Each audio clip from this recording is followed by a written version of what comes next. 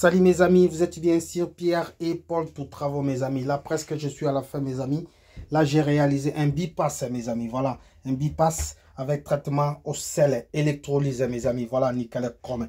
Ce que je vais faire mes amis là, je pars à la sortie de la vanne métier. Voilà, je viens au niveau du thé et je repars et je viens me brancher ici là.